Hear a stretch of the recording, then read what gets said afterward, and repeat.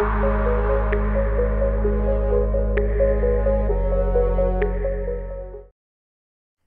build your first web page, what you want to do to start off with is add a design.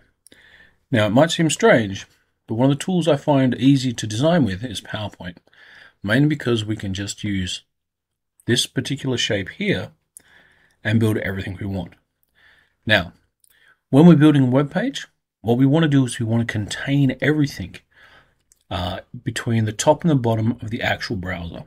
So this will be what's called a wrapper. Now, inside a web page, we have an element such as a header. So I can take that, put it here, I'll change the color, stick it to the top, right? So this is going to be our header. Then we can create a navigation, which will be a lot smaller. We'll stick it under the header. From here now, we've got two components, a header, where we can put information such as logos and so forth. We can put a navigation bar under it. A lot of sites you'll find navigation under it or actually within the header. In this case, we'll just put it under it. Then what we'll do is we'll put in what's called a CTA. So this is a call to action. This is effectively a big box where everybody gets their attention drawn to. And then what we'll do after that is we'll throw a footer in at the end. Okay. Now, because we're just doing this just to figure things out nice and quickly, we'll shrink it to that. So we're basically building one wrapper around it with four rows inside of it. So this is our very first one, something just to get the colors up and running so you can see what we're doing. So to start off with, whenever you're building a website now, what we want to do is we want to keep everything in a folder. Now, if you installed Visual Studio Code correctly, what you can do is on your desktop, create a new folder. We'll call this guy test. We'll go into it. Now, inside here, if I right click, click on show more options, you'll see I have open with code. If I do this, what it's going to do is it's going to open Visual Studio Code with my test folder. Now, I'm going to start by putting in my index page, index.html, like so. Now, inside uh, VS Code, if I can do a control plus, I can increase the font size to make things easier to see.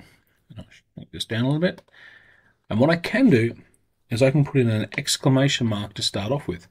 This is Emmet. What this does is now if I hit enter, it puts all this information in for me without me having to type it up.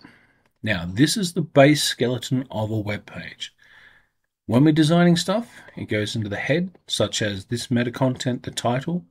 If we're writing styles on the page, so internal styles, we write it in a section here, all of our HTML sits between these two body tags. When we do this, we do it in what's called a div box. Now in HTML5, these div boxes have been given names, such as header and footer and main and so forth. In this particular case, we're just going to use div boxes and we're going to put what's called a class on them. Now a class is a way to style up these boxes. Every web page is a box. So, because of our design, we're going to use Emmet to speed things up. So if I go dot wrapper, this is going to be the wrapper to contain everything. And then I can say inside my wrapper, I have a header, and at the same level, I have a navigation bar, and then at the same level, I have my call to action, my CTA, and then I have my footer. Notice we have the IntelliSense kicking in. If we keep that up, it means when I hit enter now, it will build the actual HTML code for us, like this. Notice, this div goes to this div. Whenever we want a style to happen, we want it to occur within the opening and closing div. So this slash means closing. This is a header, this is our navigation, goes from there to there, CTA and footer. Now, from here, we're going to style it internally. So we're not using an external style sheet yet. That comes later. So everything goes up here in the style command. So when we do this, there are a couple of things we do to start off with. The first thing is we create what's called a CSS reset. So in other words, we make sure all the browsers are playing the same game. There's this thing called margin, which is spacing. And there's padding, which is also spacing. We set these guys down to zero. So that way we have full control over that design. Then we tell the system that we want box sizing to be border box. So that is all controlled. And we go overflow X, which is the left to right, horizontal. We're telling it anything that forces stuff outside, we're going to hide it.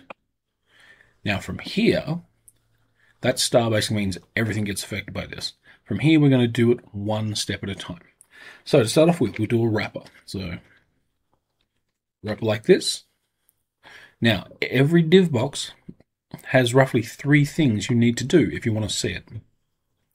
You have to give it a width, you have to give it a height, and then you have to give it a color, so a background color.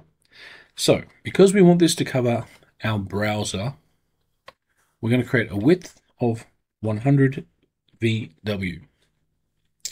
VW means viewport width. So this way our pages are responsive to the device they're on. Your height, your 100 VH, and we'll give it a background color. Notice how I'm using IntelliSense so I don't have to type out everything. You can use the cursor keys to go up and down. Hit enter when you select one. And it just speeds things up a little. So here we go. So that's my wrapper, width, height, and background. So now if I load this up, I should see it. One of the things you should see in regards to here is see how we've got that circle up here next to the name? That means the file hasn't been saved yet. So we can go File, Save, or we can use the keyboard shortcut of Control S.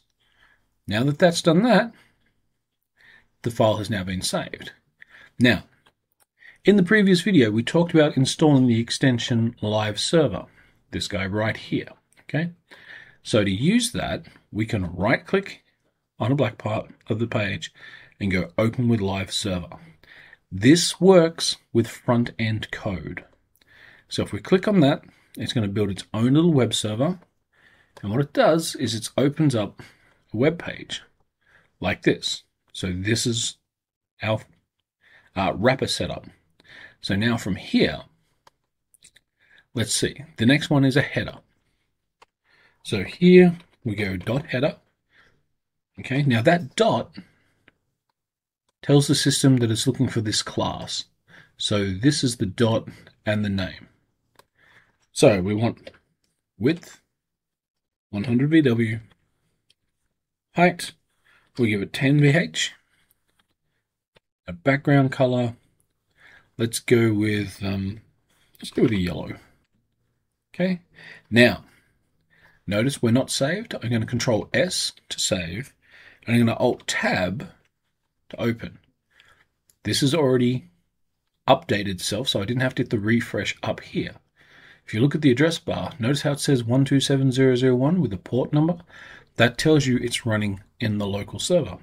And that's what Live Server does. So that's our first part. Next, we can put in navigation. So let's go dot. Navigation, make sure it's the curly braces.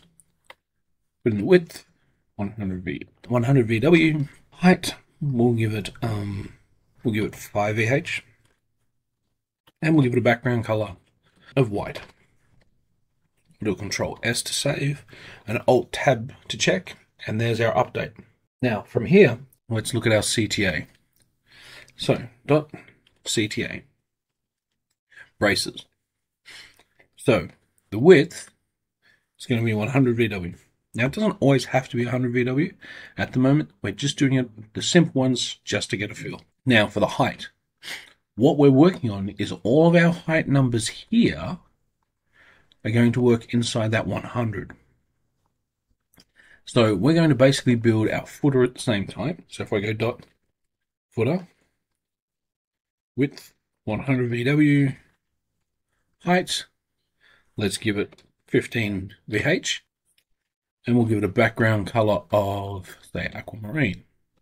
Now, from here, we've got 15 and 5 is 20, and 10, that takes us up to 30, which means I've got a height of 70 VH left over. So that's where we want to put our content.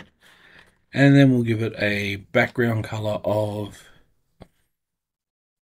let's go with tomato. okay, so remember, this is just to get these colors up so we can see the boxes. Normally, once we have our positioning laid out with what we're doing here, we would then take these background colors off and use the actual colors we need. So I'll save it, Alt Tab, and as you can see here, now we have our rows coming into play. And that is pretty much how we would work with a very simple web page, with our content fitting down between these guys here. So take, for example, if we wanted to put a block of text in here, we can use what's called a p tag. So this is a paragraph tag. Okay. And then inside of that, I'm going to put in some dummy text, which is the lorem ipsum text. So if I enter, now notice how Visual Studio Code has extended this all the way out. To put word wrap on, I can do Alt Z to make it easier to see. I'll do a Control S to save. I'll Alt Tab out. And as you can see up here, our text has now appeared. One of the things you want to keep in mind when you're building stuff inside a web page is how we actually keep things organized and easy to see. So at the moment, everything's on the one page, and we'll move on to that in the next video.